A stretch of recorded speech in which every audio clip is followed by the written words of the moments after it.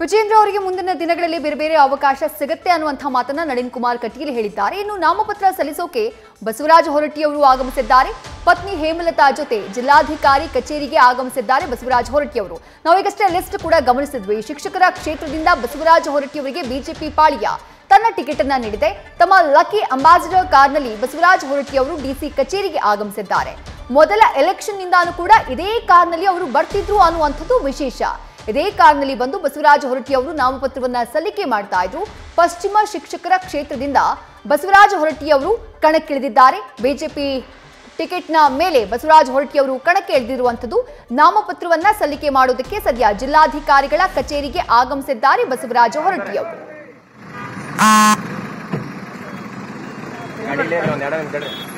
Sir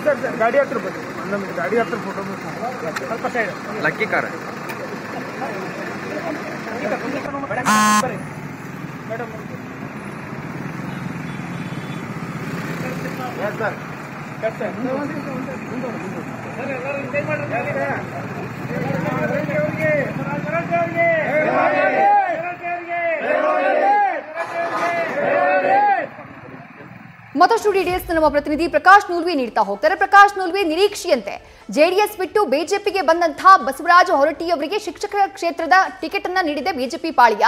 ಬಹಳ ಉತ್ಸಾಹದಲ್ಲಿ ತಮ್ಮ ಒಂದು ಟಿಕೆಟ್ ಸಲ್ಲಿಕೆ ಮಾಡೋದಕ್ಕೆ ಅದೇ ಅಂಬಾಸಿಡರ್ ಕಾರ್ನಲ್ಲಿ ಆಗಮಿಸಿದ್ದಾರೆ ಬಸವರಾಜ ಹೊರಟ್ಟಿ ಅವರು ಡೀಟೇಲ್ಸ್ನ ಕೊಡಬಹುದಾ ಪ್ರಕಾಶ್ ನೂರ್ವಿ ಸೋಲಿಲ್ಲದ ಸರದಾರ ಬಸವರಾಜ ಹೊರಟ್ಟಿ ಅವರು ಸತತ ಏಳು ಬಾರಿ ಈ ಪಶ್ಚಿಮ ಶಿಕ್ಷಕರ ಕ್ಷೇತ್ರವನ್ನು ಪ್ರತಿನಿಧಿಸಿದ್ದಾರೆ. ಏಳು ಬಾರಿ ಇವರ ವಿರುದ್ಧ ಗೆಲ್ಲೋದಕ್ಕೆ ಯಾರ ಹತ್ರನೂ ಸಾಧ್ಯ ಆಗಿಲ್ಲ. ಪಕ್ಷ ಯಾವುದೇ ಇರಲಿ, ಅವರು ಜೆ ಡಿ ಎಸ್ನಲ್ಲಿರ್ಬೋದು. ಆದರೆ ಈ ಶಿಕ್ಷಕರ ಕ್ಷೇತ್ರದಲ್ಲಿ ತಮ್ಮದೇ ಆದ ಹಿಡಿತವನ್ನು ಇಟ್ಕೊಂಡಿದ್ದಾರೆ. ಅವರು ಸ್ವತಃ ಶಿಕ್ಷಕರು ಆಗಿರೋದ್ರಿಂದ ಇದೆಲ್ಲ ಅವರಿಗೆ ಸಾಧ್ಯ ಆಗಿದೆ. ಇವತ್ತು ನಿರೀಕ್ಷೆಯಂತೆ ಯಾರೂ ಅಂದ್ಕೊಂಡಿರಲಿಲ್ಲ ಜಾತ್ಯತೀತ ಮನೋಭಾವನೆಯ, ಜಾತ್ಯತೀತ ಮನೋಸ್ಥಿತಿಯ ಬಸವರಾಜ್ ಹೊರಟ್ಟಿ ಅವರು ಪಿ ಸೇರ್ಕೊಡ್ತಾರೆ ಅಂತ ಅನಿಸಿರಲಿಲ್ಲ ಯಾರಿಗೂ. ಅದರ ನಡುವೆ ಆ ಪ್ರಶ್ನೆ ಅವ್ರಿಗೆ ಎದುರಾಗದಾಗ ಅವರು ತಮ್ಮದೇ ಆದ ರೀತಿಯಲ್ಲಿ ಉತ್ತರ ಕೊಟ್ಟಿದ್ದಾರೆ. ಇದೀಗ ನಿರೀಕ್ಷೆಯಂತೆ ಬಿ ಜೆ ಪಿಗೆ ಜಾಯಿನ್ ಆಗಿದ್ದಾರೆ. ಇವತ್ತು ಜಿಲ್ಲಾಧಿಕಾರಿಗಳ ಕಚೇರಿಗೆ ಬಂದು ತಮ್ಮ ನಾಮಪತ್ರವನ್ನು ತಮ್ಮ ಪತ್ನಿ ಹೇಮಲತಾ ಅವರಿಗೆ ಅವರೊಂದಿಗೆ ಬಂದು ನಾಮಪತ್ರವನ್ನು ಸಲ್ಲಿಸಿದ್ದಾರೆ.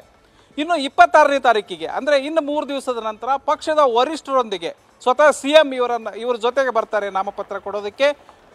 ಮತ್ತೊಂದು ಬಾರಿ ಇಪ್ಪತ್ತಾರನೇ ತಾರೀಕಿಗೆ ನಾಮಪತ್ರವನ್ನು ಸಲ್ಲಿಸ್ತಾರೆ. ಒಟ್ಟು ಮೂರು ಜಿಲ್ಲೆಗಳನ್ನು ಒಳಗೊಂಡ ಈ ಚುನಾವಣೆ ಅವರ ವಿರೋಧಿಗಳು ಆರೋಪಿಸುವ ಪ್ರಕಾರ ಅವರಿಗೆ ಅತ್ಯಂತ ಕಠಿಣವಾಗಿತ್ತು. ಅವರ ಭದ್ರಕೋಟೆಯಲ್ಲಿ ಬಿರುಕು ಬಿಟ್ಟಿತ್ತು. ಆ ಕಾರಣಕ್ಕಾಗಿ ಅವರು ಬಿ ಜೆ ಪಿಯ ಸಿಮೆಂಟ್ನಿಂದ ಅದನ್ನು ಭದ್ರಗೊಳಿಸಿಕೊಂಡು ಮತ್ತೆ ಕಣಕ್ಕಿಳಿದಿದ್ದಾರೆ ಅನ್ನುವಂಥ ಮಾತುಗಳು ಕೇಳಿ ಬಂದಿದ್ವು ಒಟ್ಟಾರೆಯಾಗಿ ಬಿ ಜೆ ಪಿಯಲ್ಲಿ ಇವರು ಹೊರಟಿಯವರು ಬಿ ಜೆ ಪಿಗೆ ಬಂದ ನಂತರ ಬಿ ಜೆ ಪಿಯಲ್ಲಿ ಟಿಕೆಟ್ ಆಕಾಂಕ್ಷಿಯಾಗಿದ್ದ ಮೋಹನ್ ಲಿಂಬಿಕಾಯಿ ಅವರ ನಡೆ ಇನ್ನೂ ಕೂಡ ನಿಗಡವಾಗಿದೆ. ಅವರು ಯಾವ ನಿಲುವನ್ನು ತಾಳ್ತಾರೆ ಅನ್ನೋದನ್ನು ಕಾದು ನೋಡಬೇಕಾಗಿದೆ. ಇದರ ನಡುವೆ ಅವರ ಪ್ರಚಾರ ಕಾರ್ಯ ಟಿಕೆಟ್ ಘೋಷಣೆ ಆಗೋದಕ್ಕಿಂತ ಮೊದಲೂ ಆರಂಭವಾಗಿದೆ. ಕ್ಷೇತ್ರದ ಮತದಾರರು ಯಾವ ರೀತಿಯ ತೀರ್ಪು ಕೊಡ್ತಾರೆ ಅನ್ನೋದನ್ನ ಕಾದು ನೋಡಬೇಕಾಗಿದೆ ವಿದ್ಯಾ. ಹಾಂಗೆ ಪ್ರಕಾಶ್ ನೂಲ್ವಿ ತಮ್ಮ ಡೀಟೇಲ್ಸ್ಗೆ ನ್ಯೂಸ್ ಫಸ್ಟ್ ಪ್ರತಿಕ್ಷಣ